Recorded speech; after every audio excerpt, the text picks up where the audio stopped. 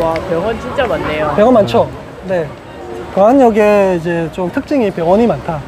그러니까 누군가는 야 나이 많아서 주민들이 나이가 많아서 병원이 많은 거 아니냐 그런 것도 없지 않아 있죠. 있는데 전통적으로 광안역은 병원이 많았어요.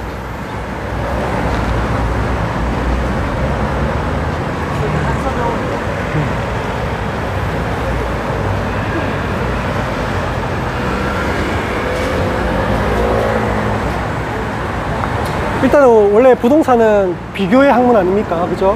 그래서 우리가 단지를 지금 한두 개 이렇게 봤는데 어, 아직까지 여기서 더 비교할 수 있는 대상을 더 많이 보고 그리고 나서 거기에 대해서 뭐 이 단지가 좋니 저 단지가 어떻니 이런 것들을 좀 얘기해 봤으면 좋겠어요 그래서 아직까지 저도 어, 어느 정도 입, 약간 좀 입을 빡 얘기하고 싶지만 어, 좀 참고 있는 게 우리가 아직 많은 단지를 못 봤기 때문에 일단은 광안자이라고 그 다음에 드파인 현장하고 에일리넷들 이런 걸 보면서 보고 나서 뭐 쌍용 예가를 또 평가해보고 그렇게 해봤으면 좋겠다.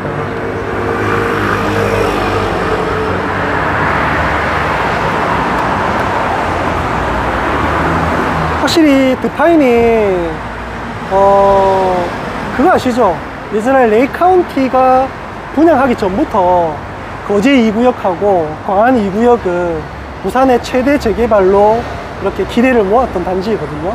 그래서 레이 카운티는 이미 지금 입주가 됐잖아요. 근데 얘는 이제 분양을 해버렸어요. 그래서 아마 조합원들이 정말 힘들었을 거예요. 계속적으로 언제 분양하냐, 언제 분양하냐. 근데 결론적으로는 분양가만 봐도 분양 시기를 너무 잘 맞춘 거예요.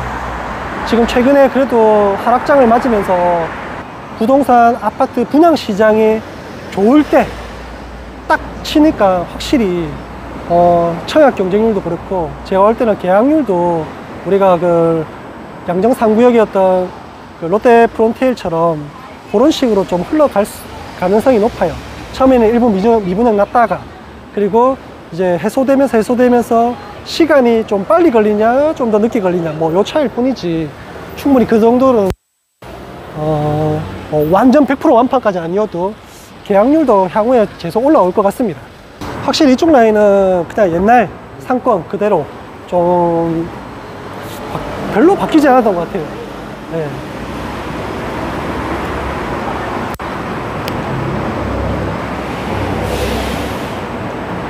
아, 이 병원 보세요, 이 병원.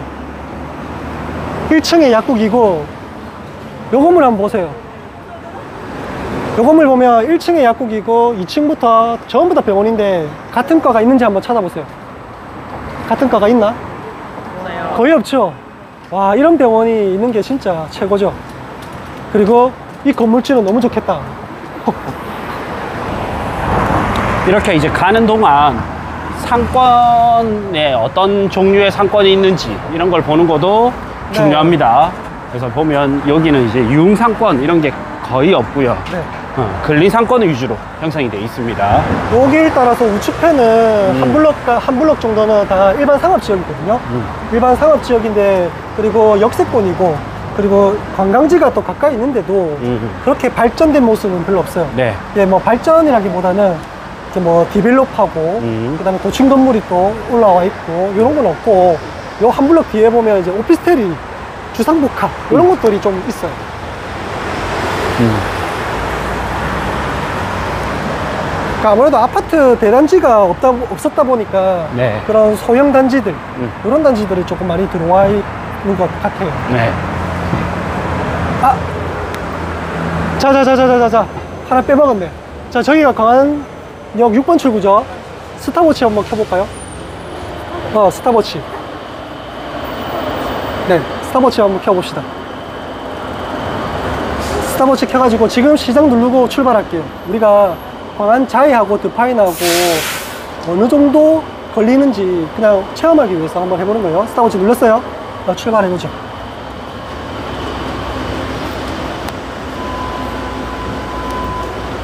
일단 대로변을 걸어서 저희가 한번 가볼 거거든요.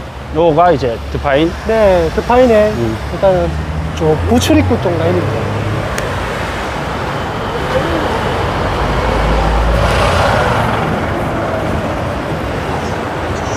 근데 확실히 광안리 쪽은 어, 바닷가 뒤쪽으로는 또 상업지가 많잖아요. 네.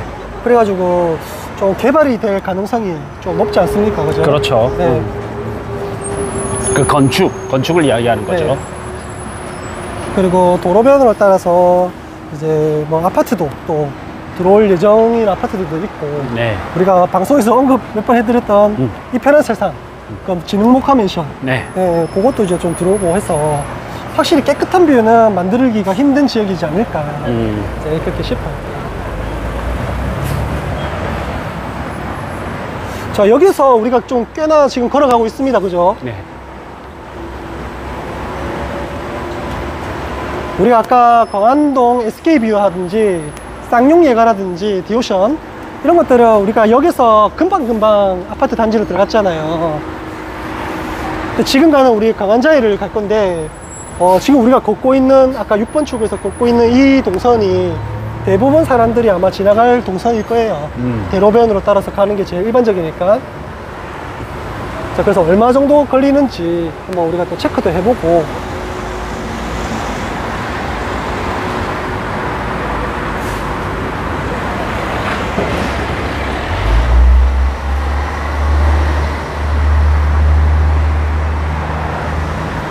아 이렇게 골목골목을 보니까 확실히 건설 현장이 눈에 들어온다 그죠? 네.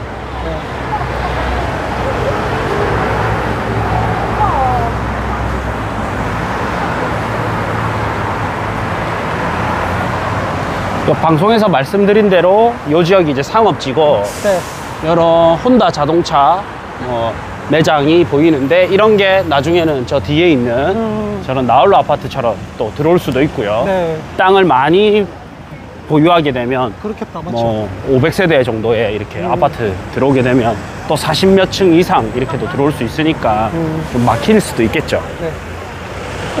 자 여기서도 한번 얘기하고 가야겠다. 그래도 좀 일로, 일로, 오세요. 지나가는 사람들 좀 보니까. 자 우리가 지금 여기 보면 4차선 도로죠. 이, 수- 이 수영로에서 바로 광안자에 들어가는 진출로거든요. 진출로인데 지금은 4차선인데 예전에는 이 반인 2차선밖에 없었어요.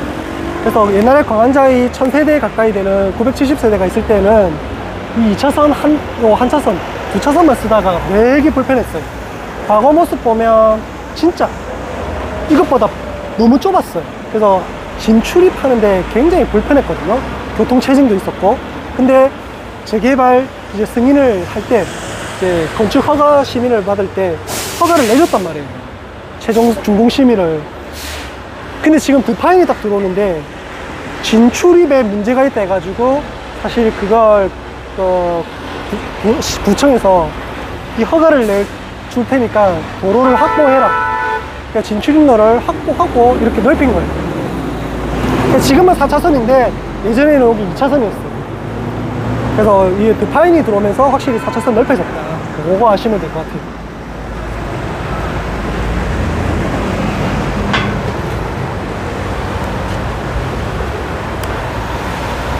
자, 우리 광안도 특히 드파인, 광안자이, 뭐 에일리네들도 마찬가지고요. 쌍용, 디오션 전부 다 입지 얘기를 합니다. 입지 얘기, 그죠?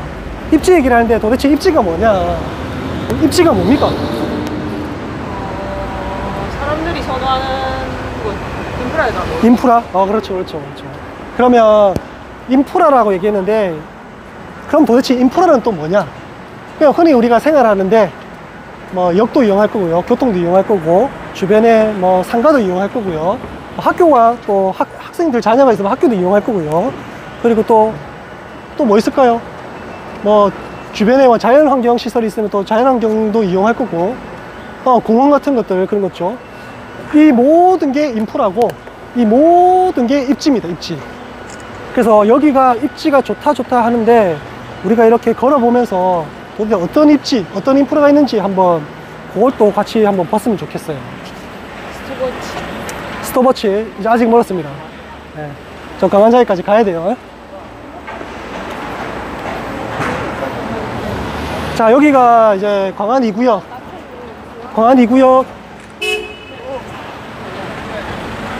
자 조심하 차 조심하세요. 좋아요 좋아요. 차 옵니다 요거는 제가 따로 강한차에 보고 내려오면서 설명해도 될 것 같아요. 네.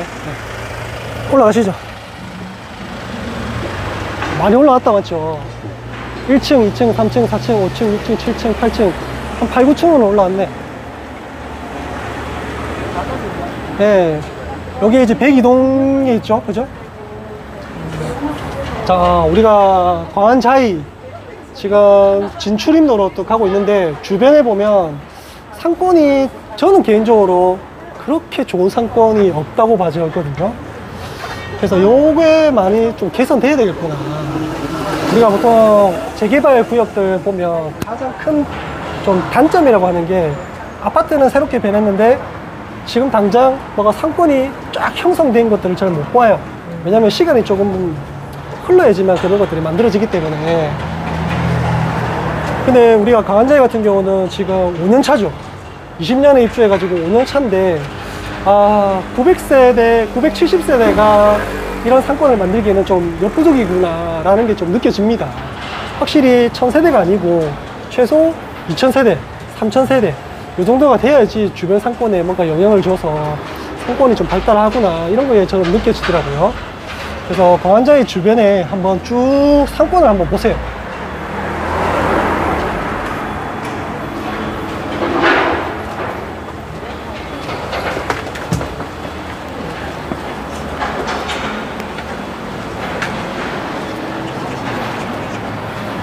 자, 이것도 펜스가 거쳐지면 확실히 이 도로도 더 개방되겠죠, 그죠?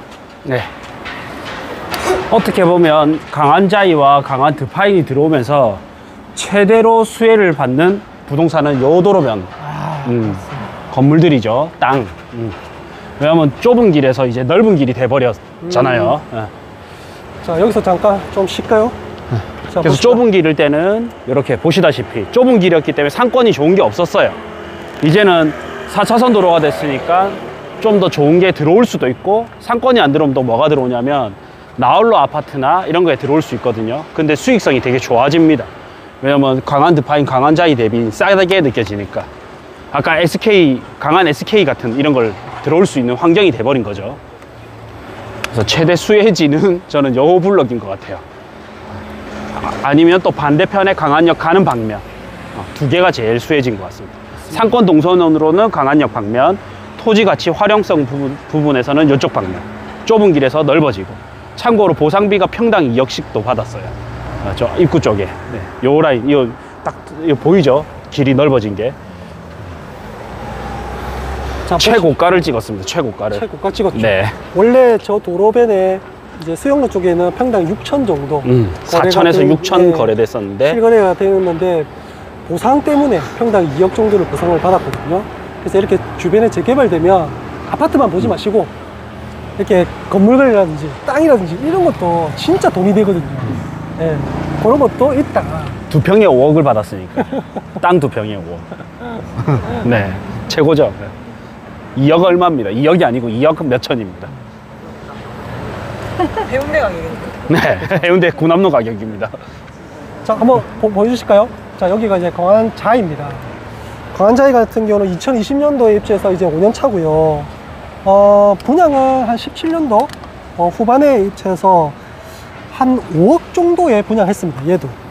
그때 약간 조건이 좋았던 게 5억 중반에 분양해서 확장비도 무료였고요. 그 다음에 중도금도 무이자였습니다. 지금 드파인이 그렇죠. 네. 그래서 약간 그때도 좀 분양이 좀 비싸다. 맞아요. 이랬던, 이랬었거든요. 그래서 이런 프로모션을 통해 가지고 약간 확장비 무료, 그 다음에 중도금 무이자 이런 걸로 조금 녹였던 것 같습니다. 그래서 어, 여기는 총 8개 동이고요. 한 971세대입니다. 주차 대수는 사실은 1.14라서 조금 빡빡하기도 하고요. 그 다음에 타입은 24평, 31평, 34평, 40평, 3베이, 3베이 구조가 대부분 주를 이루고, 어, 최근에 34평이 이제 최고가가 보니까 21년 8월에 놀라지 마세요. 14억 8천. 103동 23층 A타입 판상형. 저거죠? 103동. 맞죠? 저 앞에 보이는 게 103동이거든요. 23층 A타입이 14억 4,500 찍었어요. view, view 보이는 보입니다. 거 예. view 보이는 게 14억대 view 안 보이는 거는 거의 10억대 근데 최근에 실거래를 얼마냐면 저층이 한 8억에서 고층이 9억 정도인데 한 8월 달에 한 9억을 찍었어요. 얘가. 얘, 얘도 앞동이에요. 101동에 21층 A타입. 그래서 조망이 보이는 건데도 9억입니다. 근데 지금 네이버에 얼마 나오냐? 1층 뒷동이, 뒤에 있는 동이 8억. 그 다음에 고층이 앞동이 15억 나와요. 15억이요? 이거는 조금 완전한 호가인데 요거 전 호가가 14억 요거 전 호가가 13억 그러면 광안대교 잘 보이는 게 기본 12억은 다 넘어갑니다 굉장히 많이 올랐죠 네. 예. 근데 여기가 우리가 세대를 못 봐서 그렇지 요 앞동은 쪄요 앞동은 앞동 고층은 광안대교가 되게 잘 보여요 거의 쌍용예가만큼 보입니다 여기에 막힐 가능성은 여기 막히는 거는 사실은 별로 없어요. 여기 백일동의 일부 말고는. 왜냐면 얘가 남동향이거든요. 바닷가가 남동향 방향이에요. 어, 보이죠? 예. 그리고 강한드 파인도 그 백일동하고 백이동의 view 보이는 게 남동향을 보았어요. 그 이유는 남동향이 view가 너무 좋은 거예요. 여기는 광안 드파인 같은 경우는 한두 동, 그 다음에 일부 세대만 보이잖아요. 얘는 앞동에 고층 가면 웬만큼 다 보여요. 근데 제가 뭐랬죠? 광안동 view는 예? 어 듬성듬성 view예요. 그래서 광안 만약에 내가 한 최고층으로 갔다 그럼 광안대교가 이렇게 보이고 주탑이 보이잖아요. 여기에 뾰족뾰족뾰족 건물이 조금 아 신경 쓰일 정도까지는 아닌데 그래도 이게 눈에 보이는 정도. 그래서 완전 깨끗하진 않지만은 광안대교 주탑이 싹 보이는 이런 조망들이 많이 나옵니다. 그래서 제가 볼 때는 어, view라든지 뭐 view에 대한 입지는 광안자이가 개인적으로 제일 좋다고 생각해요. 네. 물론 뭐 쌍, 광안 쌍용의 이제 앞동 뭐 이런 것들도 좋기는 합니다. 근데 얘는 많이 보이잖아. 보이는 동호수가 또 많잖아요. 이 앞으로 나중에 해야 되지 않아요? 네. 오션 프라임 들어와요. 네. 결국 가히 네. 좀 써야 되나? 네. 그래서 고층 정도는 무조건 나올 거라고 저는 봐져요. 네. 왜냐면 여기 오시다 봤- 봤듯이 이제 경사도가 있고, 그쵸? 어, 그리고 우리가 오면서 까먹었는데 스톱워치 끈 사람, 또 오면서. 안 껐죠? 저까지 4분, 여기는 한 2분. 그러면 총 얼마입니까? 한 10분 정도 되나요? 네, 10분 정도? 어, 10분 정도가 딱 걸리라서 뭐 사실 완전 초역세권이라 말하기는 힘들고 그죠? 역인데 역세권이라 말하기 좀 그렇고 역을 이용하기는 편리하다. 아, 요 정도만 좀 아시면 될 것 같아요.